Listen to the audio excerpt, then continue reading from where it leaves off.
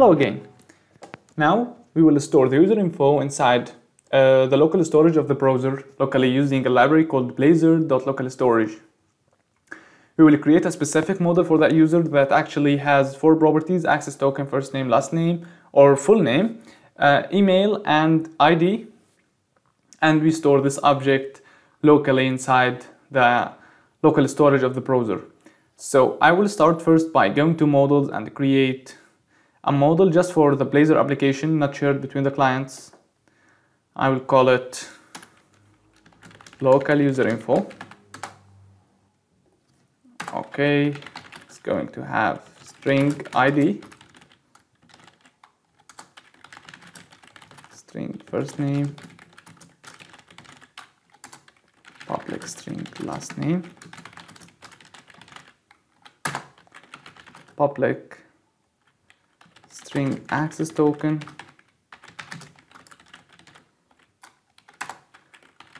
public string email address.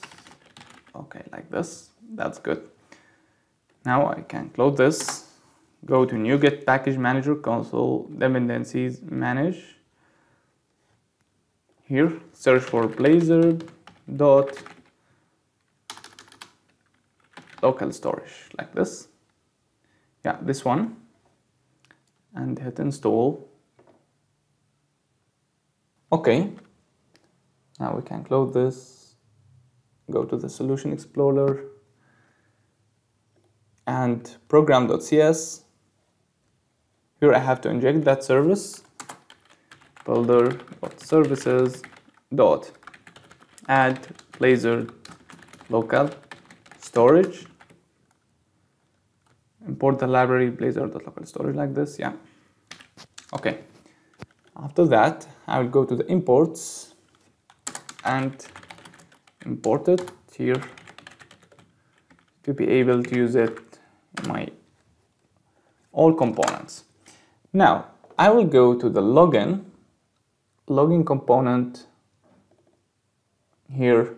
Okay, before I have printed the list of or the dictionary of user info. I have seen the item.key, item.value. First I have the email, then the name identifier or, or the ID, first name and last name.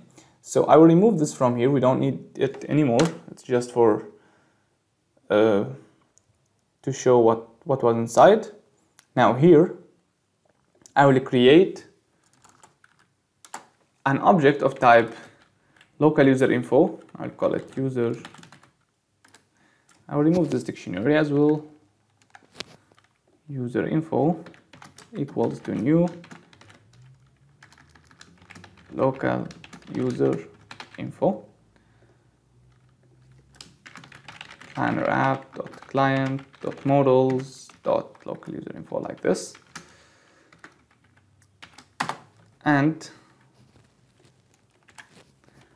let's set that value first the access token is the result the user manager response we have received from the api.message then the email, which is the first value in the uh, user info dictionary, result dot user info. This one, call it first name, this, or sorry, the email.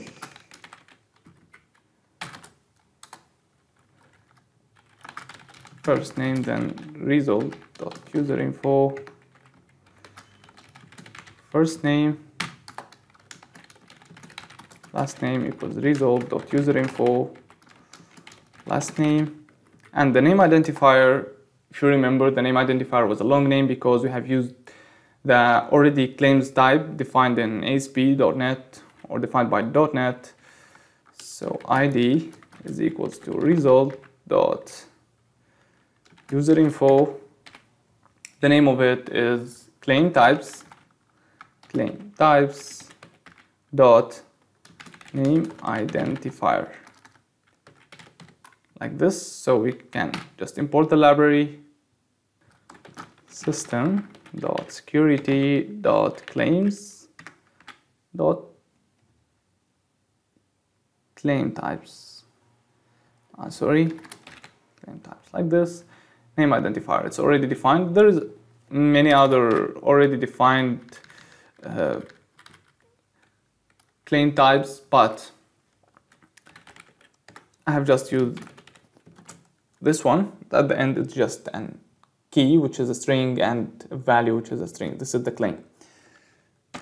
Okay, this is our user info object we want to store locally. Now, to store that, I will inject another service called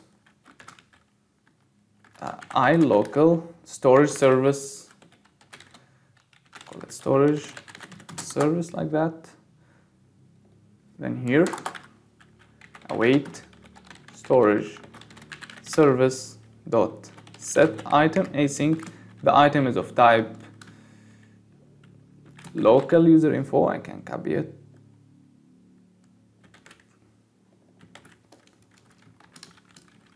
And the name is, I will call it user, the key, and the object is user info. Okay, what's going on? Ah, sorry, we don't need to define this because it detects the type from the object that's existing here. So that's it. Very simple. Have you? This is the Blazor local storage. We can just say storage service dot set item async after inject that service, and you can store that locally. So I will run the project to see if everything's working good.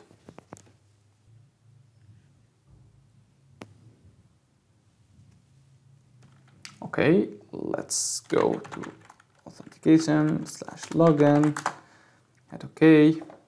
Now I will hit F12 to open the developer, uh, developer tools.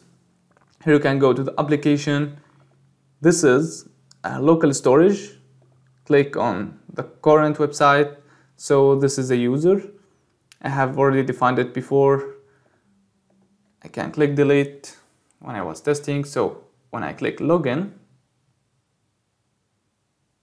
okay, we have logged in successfully and this is our user. You can see the content. This is the access token, the email, the first name, the ID, and the last name.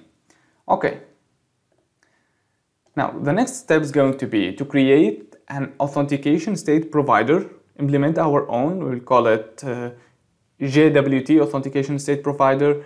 Then we will populate the user property in the Blazor or the, of the context by converting this user into a set of claims or an object of type claims principal which represents a user in ASP.NET Core and even here in Blazor. So see you in the next video.